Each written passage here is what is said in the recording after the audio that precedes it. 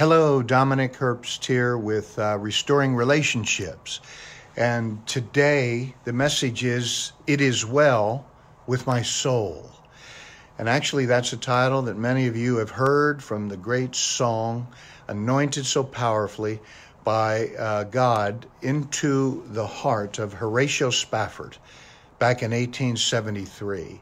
I'm going to weave in portions of the anointing that he had revealed in that song that is still sung today.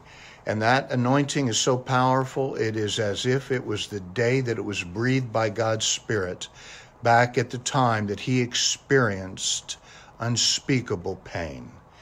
I want to begin, as I normally do, that we have a, to ha- help us remember that we have a spirit, a soul, and a body. The body is the shell, the spirit is the pneuma spirit. We talked about that in previous sessions.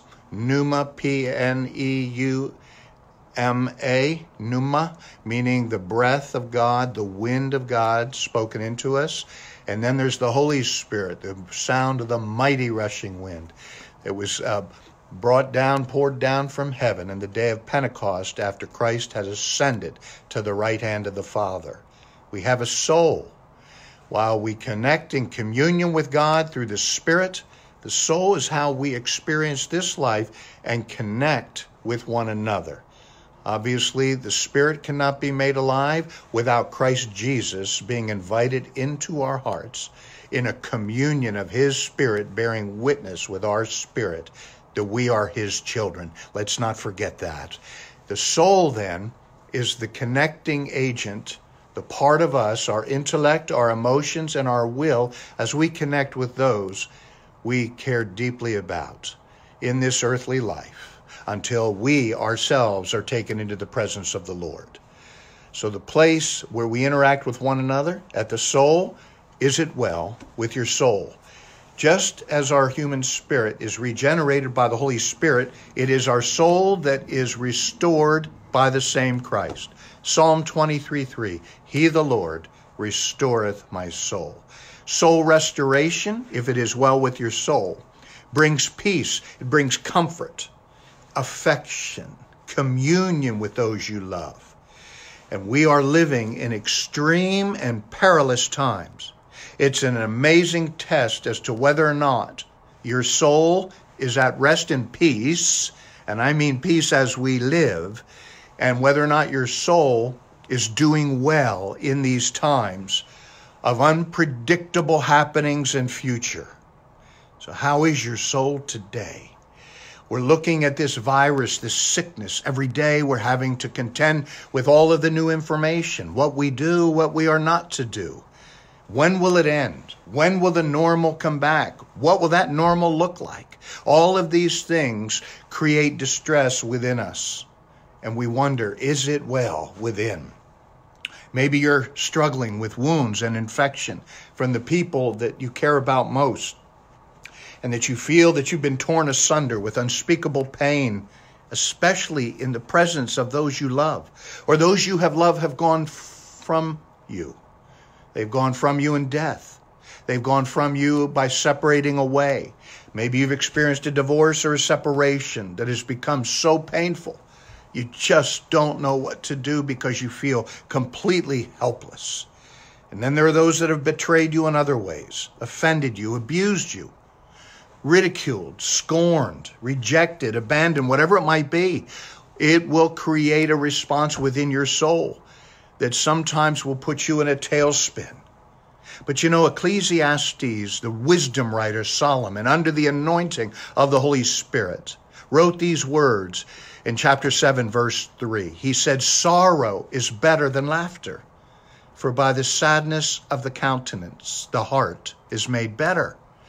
That defies logic. We don't want sorrow, we want laughter. And laughter is a wonderful medicine. But the better medicine for, for uh, transformation and cleansing and purifying is godly sorrow. Now, there is a sorrow that is not cleansing. It's actually an agent of contamination. It's worldly sorrow. And it will keep us a world apart from the presence of the Lord.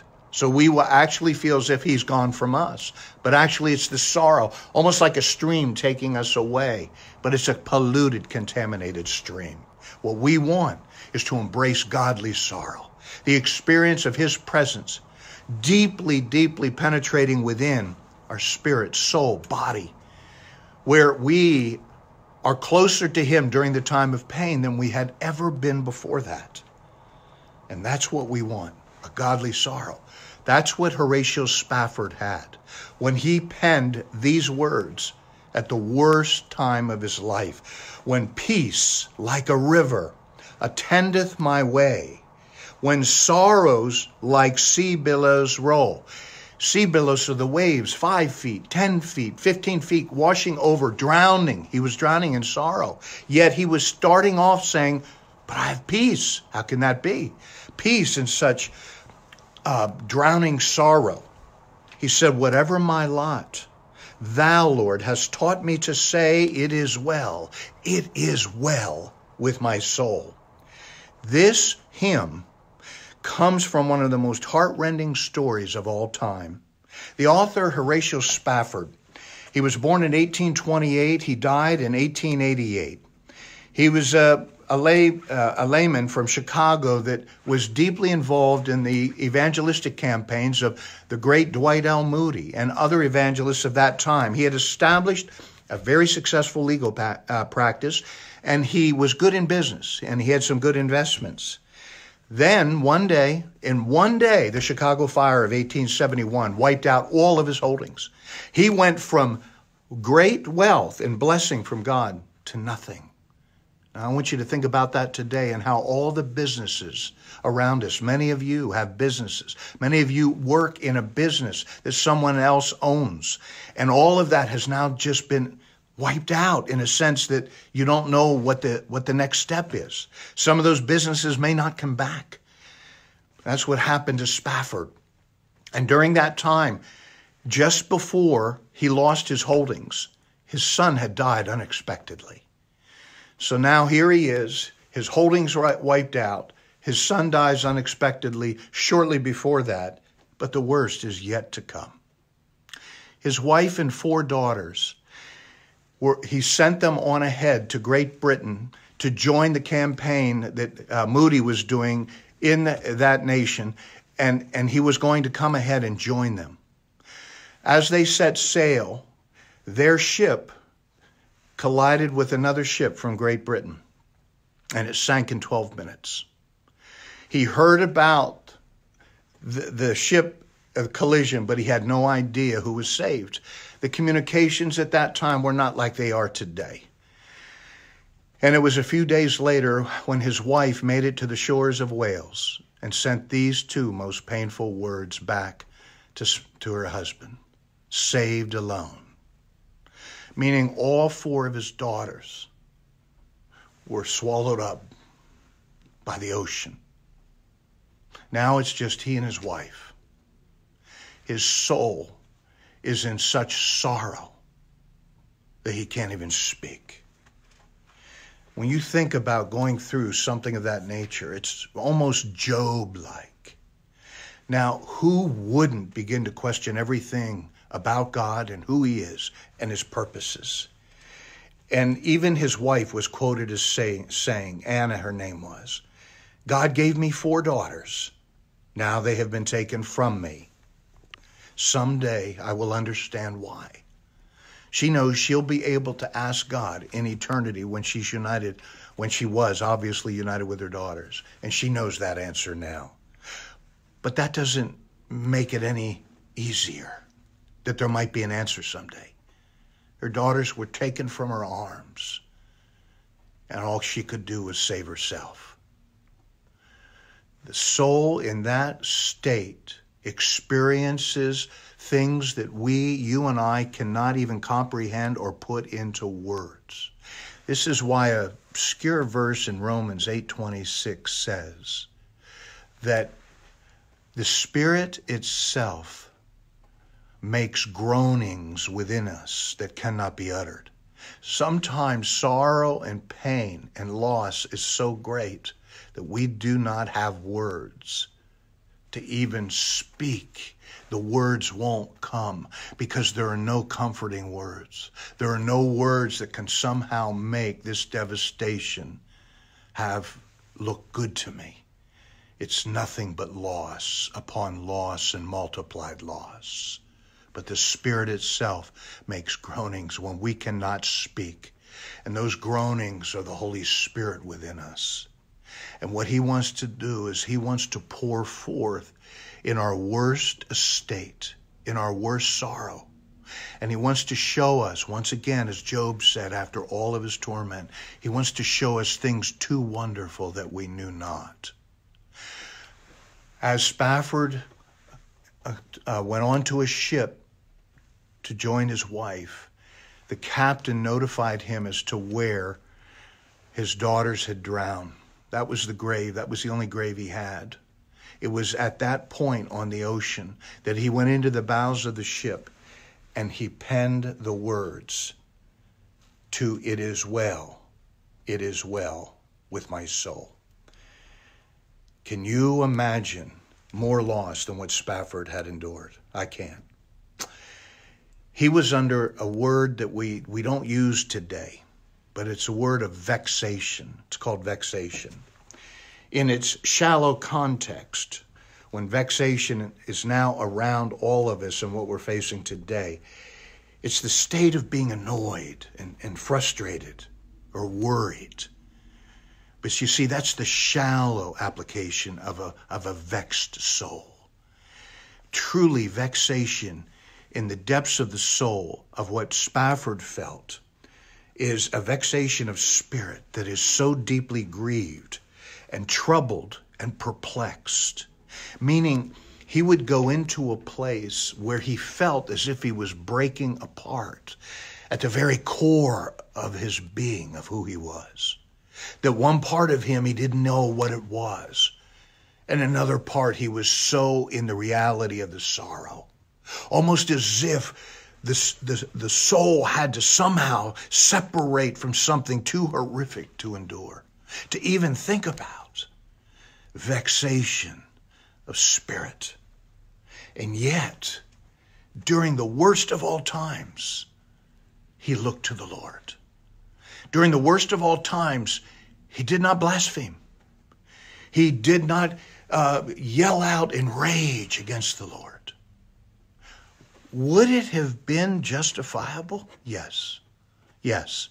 If you've been so angry at the Lord as I have over the years, and you've cried out, yelled out, yes.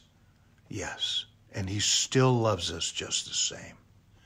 And I got to believe that there must have been moments like that, or at least considered it, but they're not written about.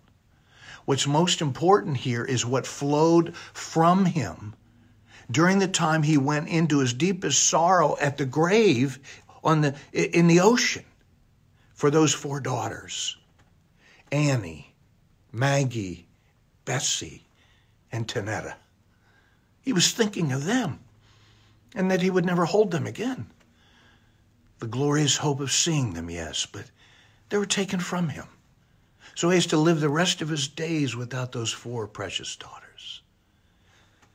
And as he's in that place, think about that place where you're at today. What are you thinking? How are you feeling?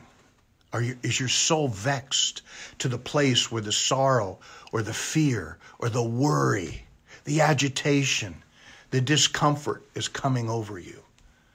Or are you going to turn into it? Are you going to embrace it? Are you going to embrace the pain? That sounds bizarre. Who embraces pain? Are you going to look for the, as uh, uh, one author, uh, her name is Lovejoy, she wrote, the sweet side of sorrow. There's a sweetness in suffering, sweet side of suffering. That if you allow yourself to come into the presence of God instead of withdraw away, your soul will become so amazingly enlightened by the communion of the Holy Spirit, and you will see revelation that God had heretofore not shown you. because you're coming to Him with a sacrifice of pain, a sacrifice of suffering. You're identifying with the sacrifice of suffering that we just remembered this past weekend in the resurrection weekend, the resurrection Sunday, and the suffering on Good Friday. And when you enter into that suffering to that degree, He is ready to bring revelation. He is ready to take you places in this earthly life that very few people will ever go. And He's saying to you right now, out of Matthew 11, 28 and 29, Come to me, all you that labor and are heavy laden, and I will give you rest. Take my yoke upon you and learn from me, for I am gentle and humble in heart, and you will find rest for your souls. Think about that. Or you can go into the place that Jesus talked about when he spoke about the end times in one of the Gospels. He spoke of it in three of the Gospels. And in Luke 21 26, he said, In the last days, men's hearts will fail them from fear and the expectation of those things which are coming on the earth. For the powers of the heavens will be shaken. You know what that means? Things will become so uh, uh, scary and frightening on this earth, things that we do not have answers for, things that we do not see the origin of or the end to, that men's hearts will fail them in fear. And they will come under that fear and they will become paralyzed and reclusive. Now, he spoke that to say that that's what some of the end time activities or uh, situations will bring. But we don't have to come under that fear. And many of us, we know what that's talking about. Many of us have been paralyzed in fear. Yet the Christ lives within us. And that perfect love of Christ will cast out that fear. He is not ever given us that spirit of fear that comes from the enemy. And he always said through the scriptures, fear not. So if you're in a place that kind of coincides with what Horatio Spafford was, because in a way his whole world completely broke around him. It was destroyed. In his eyes and his thoughts, the closest people in his family, all except his wife, were taken from him. And now here he is wondering, what is my lot? And as he sat there writing, he, he said these words, and I'm going to give you three verses, um, and might, I might add the fourth. And in these verses, you have past, you have present, and you have future. But before I read them, because that's where I'm going to close, I want you to know that the anointing on this, these lyrics and this song uh, Philip Bliss wrote the music, composed the music to the song, brought tens of thousands, hundreds of thousands, even millions to the knowledge of Christ. And those millions came to Christ long after Spafford had gone on to be with Christ. You want to talk legacy? The impact of what you were called to do in the short, brief time that you're in this world. You want to talk legacy? There's legacy. One event, albeit more painful than we'd ever imagine, and one hymn from that event. Millions. They're still coming. I trust that after you see this, maybe you'll go on to uh, uh, one of the providers of music and you'll pull up whatever rendition of it as well. And that you will put yourself in the presence of the words so powerfully anointed and let the hymn and the music penetrate your soul and spirit. Lift you to a place such as you have never known and that you will never be the same after after you sing this song. After you hear this song now, and after, from now on, when you sing it, that you'll never be the same, knowing what the price and the sacrifice was. Because had Spafford rebelled against God and said, You're asking too much, or said, You gave one child, your son, I gave you five children. And you know what? He didn't do that. He took the sacrifice, he presented it to God, and God poured through him. What could be happening right now within your life? Let me read the verses. Opening with what I, or closing with what I opened with. When peace like a river attendeth my way, when sorrows like sea billows roll, whatever my lot, that is, whatever I experience, whatever I'm going through right now, what I'm going through, whatever my lot, thou hast taught me to say, It is well, it is well with my soul. And then the, the refrain, It is well, it is well with my soul. And then the next verse, though Satan should buffet, he is right now. He's been buffeting. He's coming against us constantly. Though Satan should buffet, though trials should come, oh, we're facing trials. The whole world is right now. And you're also facing trials maybe in relationships. So it's all compounded. Though trials should come, let this blessed assurance control that Christ has regarded my helpless estate and has shed his own blood for my soul. You feel helpless? It's all right. He's provided His blood. His strength is made perfect in our weakness. And then the refrain My sin, oh, the bliss of this glorious thought. My sin, not in part, but the whole, is nailed to the cross, and I bear it no more. Praise the Lord.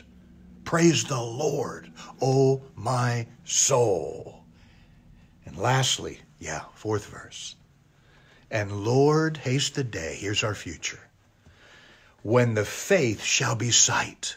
Faith is believing in God when nothing makes sense, when you don't see what you really are looking for from Him, and you get everything the enemy throws at you. So if you look with earthly sight, then your faith comes under fear.